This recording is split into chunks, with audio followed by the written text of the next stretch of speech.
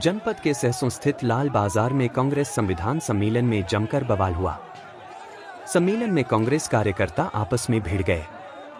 मंच पर बैठे कांग्रेस के वरिष्ठ नेता लोगों से शांत रहने की अपील करते रहे, लेकिन कार्यकर्ता एक दूसरे पर लात घूसे बरसाते रहे। काफ़ी देर बाद मामला शांत हुआ। यह झगड़ा सोशल मीडिया में खूब वायरल हो रहा है। रविवार को कांग्रेस के संविधान सम्मेलन का आयोजन था। इसमें प्रदेश के कई जिलों से कार्यकर्ताओं के अलावा प्रदेश अध्यक्ष अजय राय सहित कई वरिष्ठ नेता पहुँचे थे। झगड़े के दौरान कार्यकर्ताओं के दो गुट हो गए। वे आपस में भिड़ गए। दोनों तरफ़ से हाथापाई होने लगी। मंच पर बैठे प्रदेश अध्यक्ष समेत वरिष्ठ नेता कार्यकर्ताओं को समझाने लगे। कोई कहाँ सुनने वाला था? काफ़ी देर तक दोनों गुटों में लात घूसे चलते रहे। बड़ी देर बाद मामला शांत हुआ।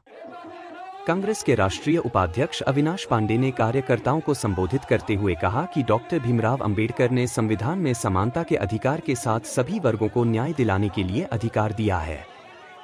गठबंधन से जो भी उम्मीदवार आएगा, उसे जिताने का काम करेंगे। प्रदेश अध्यक्ष अजय राय ने कहा कि हमारे कार्यकर्ता बूथ स्तर पर मजबूती बनाए, ताकि फूलपुर विधानसभा उपचुनाव में गठबंधन पूरी मजबूती से लड़ सके। राष्ट्रीय महासचिव राजेश तिवारी ने कहा कि फूलपुर उपचुनाव सहित पूरे प्रदेश में मजबूती से चुनाव लड़ते हुए संविधान के लिए आखिरी सांस तक लड़ते रहेंगे। सम्मेलन में अन्य आए सांसदों एवं विधायकों ने भी संबोधित किया। कांग्रेस शहर उपाध्यक्ष परवेज अहमद सिद्दीकी ने वार्ता करने पर जानकारी देते हुए बताया कि वहाँ टिकट के वर्चस्व को लेकर दो गुट हो गए थे। जबकि देखा जाए तो यह धरती जवाहरलाल नेहरू की रही है। कायदे से यहाँ कांग्रेस के उम्मीदवार को टिकट मिलना चाहिए। लगता है कि यह सीट गठबंधन में सपा को दे दी जाएगी।